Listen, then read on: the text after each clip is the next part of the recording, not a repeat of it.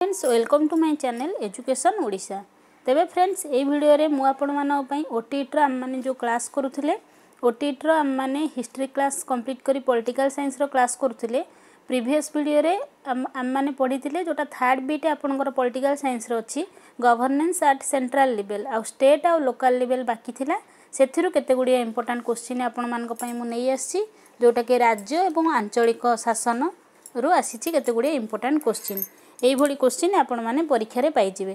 ତେବେ ଚାଲନ୍ତୁ ଡେରି ନ କରିକିରି ଷ୍ଟାର୍ଟ କରିବା ଭିଡ଼ିଓଟି। ତା ପୂର୍ବରୁ କହି ରଖିବି ଯଦି ନ୍ୟୁ ଭିୟର ଅଟନ୍ତି ତେବେ ସବସ୍କ୍ରାଇବ୍ କରି ବେଲ୍ ଆଇକନ୍ ପ୍ରେସ୍ କରିଦିଅନ୍ତୁ। ତେବେ ଚାଲନ୍ତୁ ଆରମ୍ଭ କରିବା। ଫାର୍ଷ୍ଟ କୋଶ୍ଚିନ୍ କ'ଣ ଅଛି? ଏଇଟା ହେଉଛି ରାଜ୍ୟ ଶାସନ ଉପରେ ଆଧାରିତ। ବିଧାନସଭା ବୈଠକରେ କିଏ ସଭାପତିତ୍ୱ କରନ୍ତି? ଆମର ରାଜ୍ୟର ଯେଉଁ ବିଧାନସଭା ରହୁଛି ସେଥିରେ କିଏ ସଭାପତିତ୍ୱ କରନ୍ତି? ଉପସଭାପତି ରାଜ୍ୟପାଳ ବାଚସ୍ପତି ମୁଖ୍ୟମନ୍ତ୍ରୀ। କିଏ ଆମର ସଭାପତିତ୍ୱ କରନ୍ତି ବିଧାନସଭାରେ ଅପସନ୍ ନମ୍ବର ସି ବାଚସ୍ପତି। ଭାରତରେ କେଉଁ ଗୋଟିଏ ରାଜ୍ୟ ବ୍ୟତୀତ ସବୁ ରାଜ୍ୟରେ ସମାନ ପ୍ରକାରର ଶାସନ ବ୍ୟବସ୍ଥା ରହିଛି?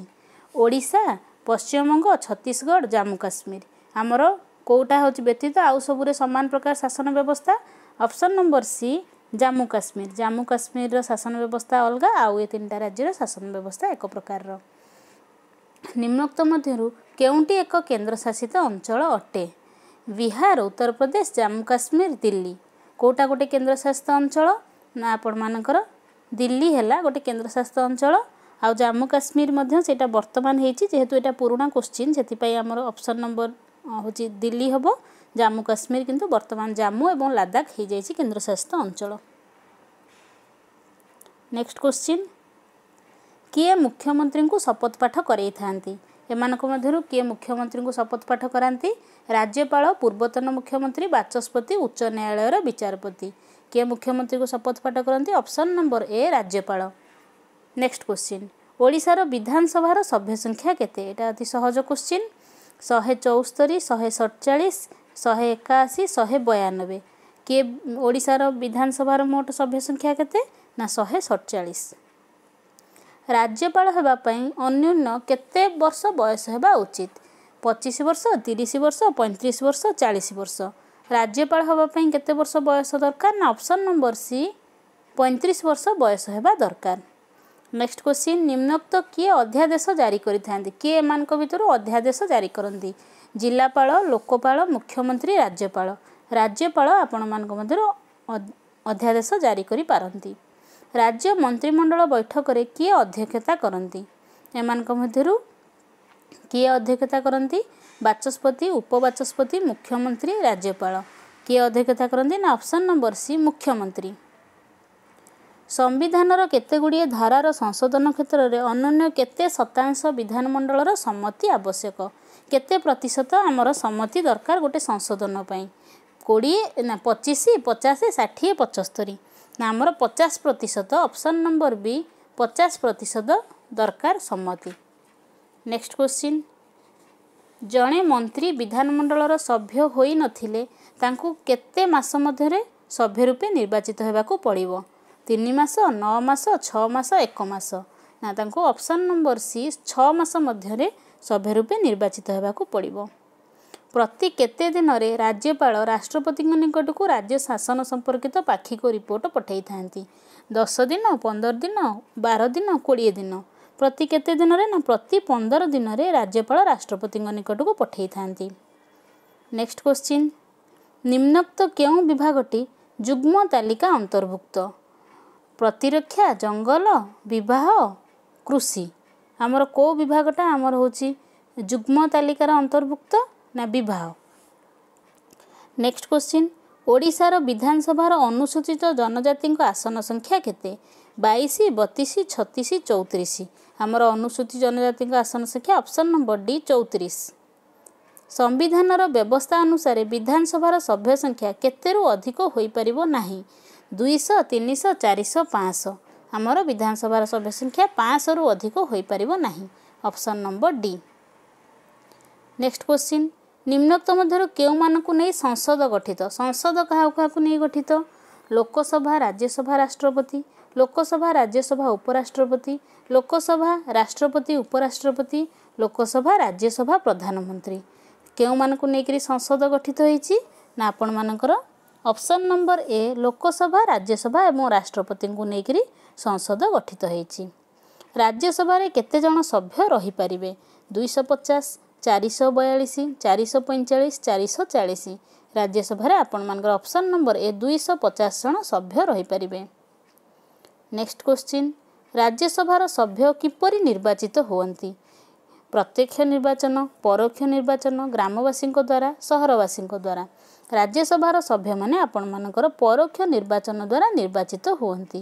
Option number B. Next question ରାଜ୍ୟସଭାରେ ଓଡ଼ିଶାରୁ କେତେ ଜଣ ସଭ୍ୟ ଅଛନ୍ତି? ସାତ ଜଣ କୋଡ଼ିଏ ଜଣ ଦଶ ଜଣ ପନ୍ଦର ଜଣ। ରାଜ୍ୟସଭାରେ ଓଡ଼ିଶାରୁ କେତେ ଜଣ ଅଛନ୍ତି ନା ଅପସନ୍ ନମ୍ବର ସି ଦଶ ଜଣ ଅଛନ୍ତି? ଲୋକସଭାରେ କେତେ ଜଣ ସଦସ୍ୟ ରହିପାରିବେ? ପାଞ୍ଚଶହ ପାଞ୍ଚ ପାଞ୍ଚଶହ ଚାଳିଶ ପାଞ୍ଚଶହ ବୟାଳିଶ ପାଞ୍ଚଶହ ପଇଁଚାଳିଶ ନା ଲୋକସଭାରେ ଆପଣମାନଙ୍କର ପାଞ୍ଚଶହ ପଇଁଚାଳିଶ ଜଣ ସଦସ୍ୟ ରହିପାରିବେ? ଲୋକସଭାର ସଭ୍ୟମାନଙ୍କର କାର୍ଯ୍ୟକାଳ କେତେ ବର୍ଷ? ତିନି ବର୍ଷ ଚାରି ବର୍ଷ ପାଞ୍ଚ ବର୍ଷ ଛଅ ବର୍ଷ। ଲୋକସଭାର ସଭ୍ୟମାନଙ୍କର କାର୍ଯ୍ୟକାଳ ଆପଣମାନଙ୍କର ଅପସନ୍ ନମ୍ବର ସି ପାଞ୍ଚ ବର୍ଷ। ବାଚସ୍ପତି କିପରି ନିର୍ବାଚିତ ହୁଅନ୍ତି? ଲୋକସଭାର ସଦସ୍ୟମାନଙ୍କ ଦ୍ୱାରା ରାଜ୍ୟସଭାର ସଦସ୍ୟମାନଙ୍କ ଦ୍ୱାରା ଲୋକସଭା ଓ ରାଜ୍ୟସଭାର ସଦସ୍ୟମାନଙ୍କ ଦ୍ୱାରା ପ୍ରଧାନମନ୍ତ୍ରୀଙ୍କ ଦ୍ୱାରା ଆମର ବାଚସ୍ପତି କିପରି ନିର୍ବାଚିତ ହୁଅନ୍ତି ନା ଅପସନ୍ ନମ୍ବର ଏ ଲୋକସଭାର ସଦସ୍ୟମାନଙ୍କ ଦ୍ୱାରା ନିର୍ବାଚିତ ହୁଅନ୍ତି। ନେକ୍ସଟ କ୍ୱେଶ୍ଚିନ୍ ନିମ୍ନୋକ୍ତ ମଧ୍ୟରୁ କିଏ ପ୍ରତ୍ୟକ୍ଷ ନିର୍ବାଚନରେ ନିର୍ବାଚିତ ହୁଅନ୍ତି? ରାଷ୍ଟ୍ରପତି ଉପରାଷ୍ଟ୍ରପତି ଲୋକସଭାର ସଭ୍ୟ ରାଜ୍ୟସଭାର ସଭ୍ୟ। କିଏ ଏମାନଙ୍କ ମଧ୍ୟରୁ ପ୍ରତ୍ୟକ୍ଷ ନିର୍ବାଚନ ନା ଅପସନ୍ ନମ୍ବର ସି ଲୋକସଭାର ସଭ୍ୟ? ନେକ୍ସଟ କ୍ୱେଶ୍ଚିନ୍ କେନ୍ଦ୍ର ମନ୍ତ୍ରିମଣ୍ଡଳ ତାହାର ପ୍ରତ୍ୟେକ କାର୍ଯ୍ୟ ପାଇଁ ନିମ୍ନୋକ୍ତ କାହା ନିକଟରେ ମିଳିତ ଭାବରେ ଦାୟୀ? ରାଷ୍ଟ୍ରପତି ପ୍ରଧାନମନ୍ତ୍ରୀ ଲୋକସଭା ବିଧାନସଭା। କେନ୍ଦ୍ର ମନ୍ତ୍ରିମଣ୍ଡଳ ତାହାର ପ୍ରତ୍ୟେକ କାର୍ଯ୍ୟ ପାଇଁ ଅପସନ୍ ନମ୍ବର ସି ଲୋକସଭା ନିକଟରେ ଦାୟୀ। ନେକ୍ସଟ କ୍ୱେଶ୍ଚିନ୍ ରାଷ୍ଟ୍ରପତି କେତେବେଳେ ଅଧ୍ୟାଦେଶ ଜାରି କରିଥାନ୍ତି? ଦେଶରେ ଆଭ୍ୟନ୍ତରୀଣ ଗଣ୍ଡଗୋଳ ହେଲେ ଦେଶରେ ଆର୍ଥିକ ସଙ୍କଟ ଦେଖାଦେଲେ ପ୍ରଧାନମନ୍ତ୍ରୀଙ୍କ ମୃତ୍ୟୁ ହେଲେ ସଂସଦ ବସିନଥିଲା ବେଳେ ଆଇନର ଆବଶ୍ୟକତା ହେଲେ।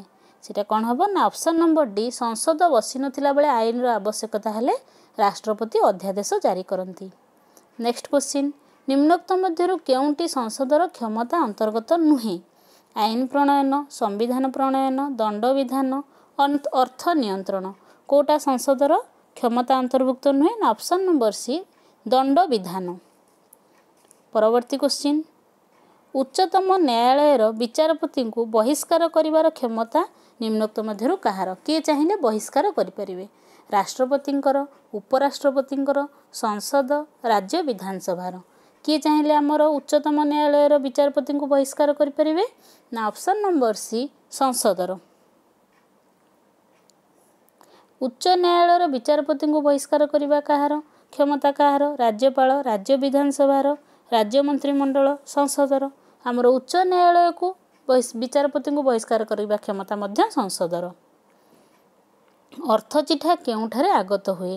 ସଂସଦର ଉଭୟ ଗୃହରେ ଲୋକସଭାରେ ରାଜ୍ୟସଭାରେ ଉପରାଷ୍ଟ୍ରପତିଙ୍କ ନିକଟରେ। ଆମର ଅର୍ଥ ଚିଠା ବା ମନି ବିଲ୍ ଆପଣମାନଙ୍କର ସବୁବେଳେ ଲୋକସଭାରେ ଆଗତ ହୁଏ। କୌଣସି ଚିଠା କେତେବେଳେ ଆଇନରେ ପରିଣତ ହୁଏ? ଲୋକସଭାରେ ଗୃହୀତ ହେବା ପରେ ରାଜ୍ୟସଭାରେ ଗୃହୀତ ହେବା ପରେ ସଂସଦର ଉଭୟ ସଭାରେ ଗୃହୀତ ହେବା ପରେ ରାଷ୍ଟ୍ରପତିଙ୍କ ଦ୍ୱାରା ସ୍ୱୀକୃତି ପାଇଲା ପରେ। ଆମର ଚିଠାଟା କେତେବେଳେ ଆଇନରେ ପରିଣତ ହୁଏ?